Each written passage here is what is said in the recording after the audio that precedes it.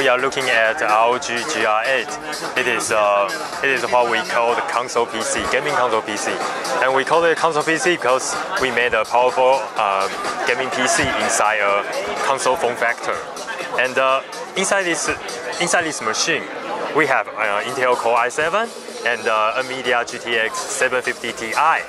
And uh, I think you cannot see uh, this kind of machine on the market right now. And uh, with our special design,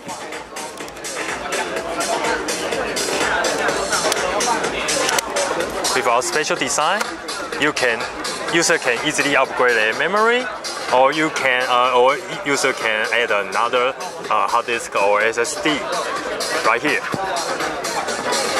And uh, and uh, and our thermal design is very special. So it is a very quiet machine and uh, consume and, and very uh, very power efficient.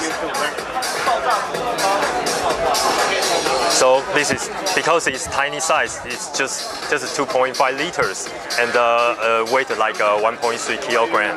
So it is perfect to to to uh, bring to anywhere and gaming anywhere, including living room, uh, desktop room, and uh, and uh, uh, LAN party.